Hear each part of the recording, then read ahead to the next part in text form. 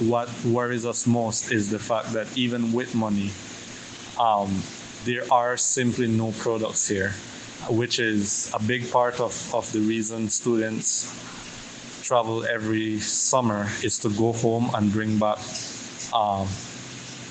groceries and, and hygiene products. In fact, most of this, the students that travel regularly um, every summer,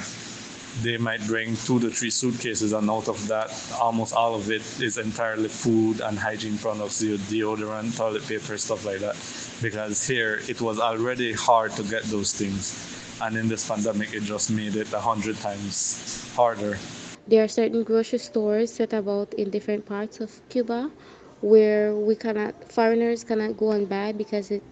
it's it it's for only Cubans, right? Um, Cubans pay in Cuban money, and the government supply whatever basic they, things they need, like toiletries, oil, um, milk, whatever that we cannot get on on the street, or sometimes not even in the the larger supermarkets.